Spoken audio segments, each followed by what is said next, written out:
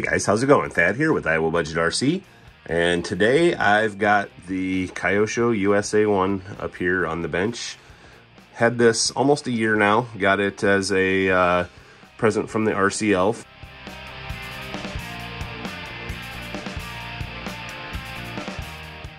And I absolutely love this truck.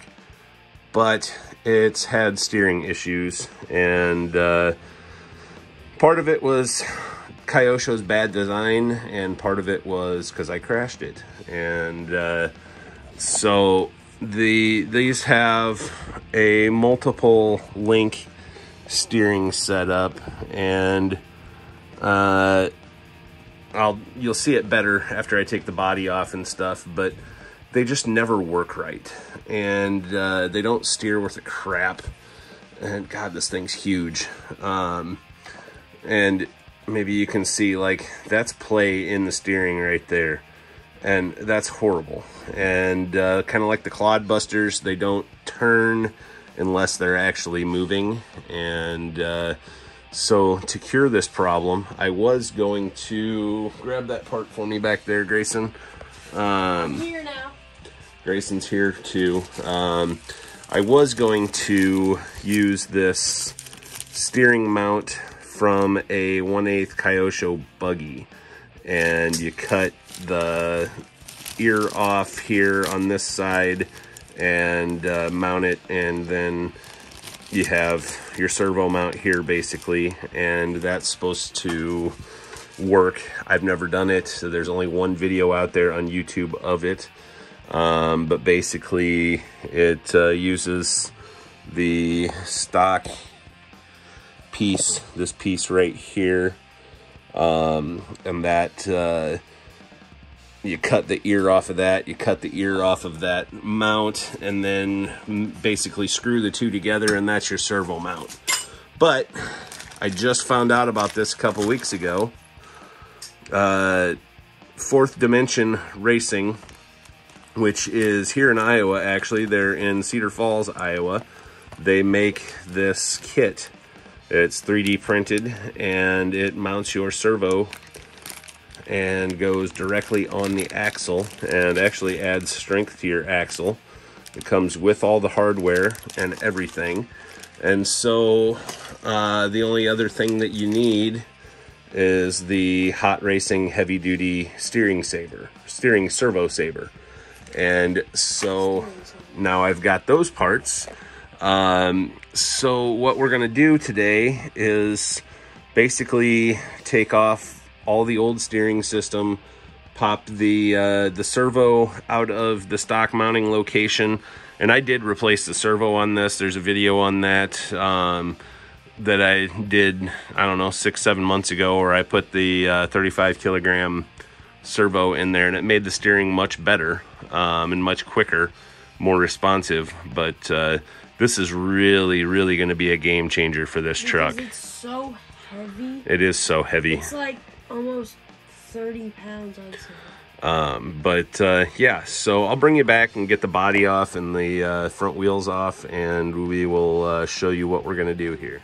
All right, so for those of you who've never seen the uh, inside of the USA 1, here's the big brushless motor and the uh, I believe this is a Hobbywing Max 8 or I don't know if it's Hobbywing anyway, but uh, it's the it's uh, 1 8 scale uh, brushless speed control.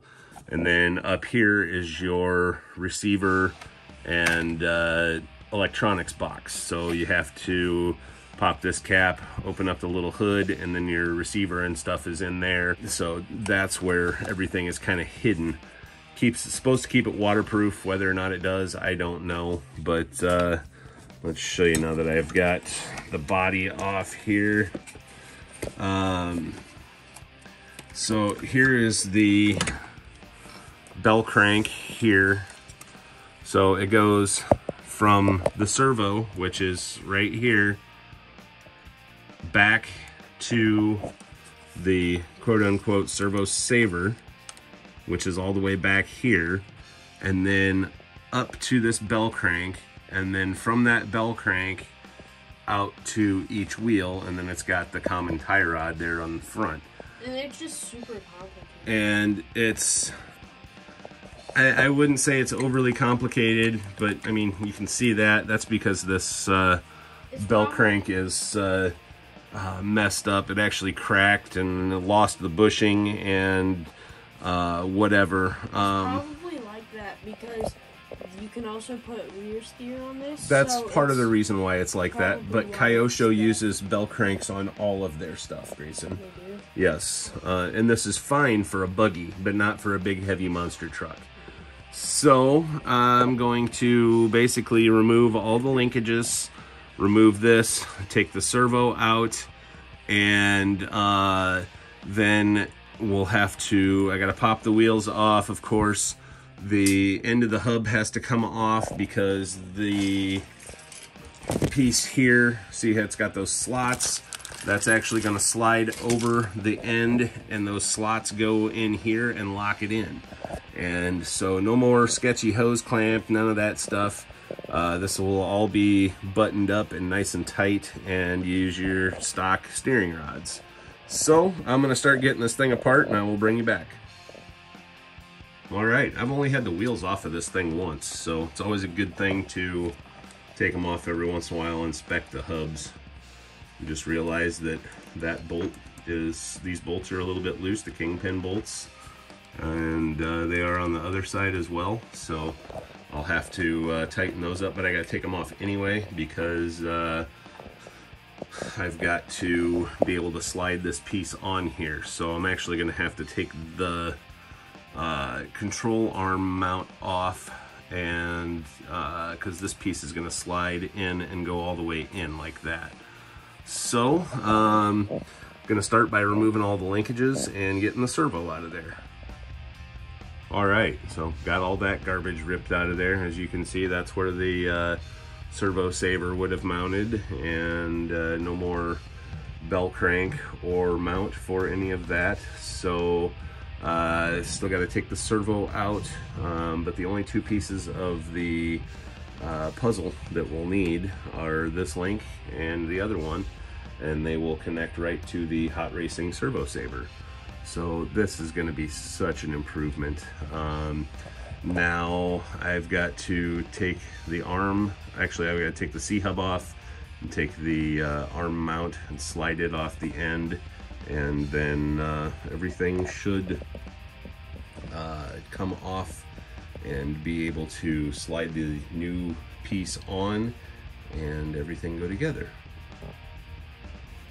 All right, so uh, to get the C-hub and axle uh, mounts and all of that, the trailing arm mounts, I guess you'd call them, off of the axle. There's a screw here, and there's one on the bottom side, and you take those out, and then the whole thing just slides off the end there and pulls your drive shaft out also. And it's good to see that there's some grease on there. And I will probably put just a little bit more on there before I put it back in. Uh, now, see if I can find a flashlight here and I'll kind of show you if you can see inside of there. There's your inner drive cup that's connected to your differential.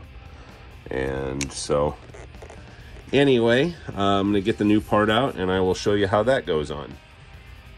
All right, so to put this on, you got your fourth dimension logo on there. You slide it on just like so. And that stays on there just like that. And then your servo will mount in here. They provide you with the hardware needed.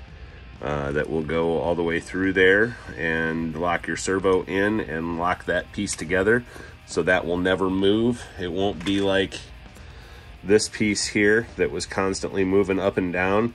Had to put the hose clamp next to it and I even at one point put some grip tape stuff inside of here to try and help and uh, that didn't help either. But uh, anyway, so now just the opposite and uh, like I say I'm going to put some grease on the drive shaft there and just slide everything back together, put the screw in, and we're golden. So I will bring you back. And just like that, it's back together. Still got to put the screws in, but once you get it together, you just want to turn it make sure you got your uh, drive shaft engaged on both sides, which I do, and it's turning the uh, the hub on the other side, so I know I'm good. So I'll put those two screws in, I'll get the shock back mounted up, get the arms back mounted up, and uh, we'll get the servo in there, and uh, that should be about it, besides getting the uh, steering arms hooked up.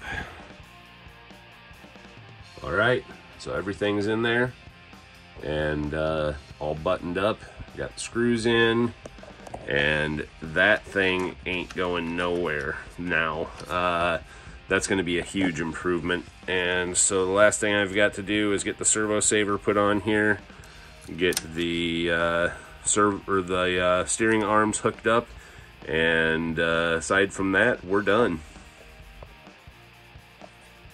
All right, guys, and there it is. We go full lock both ways. It doesn't hit on the uh, suspension arms like I thought it would.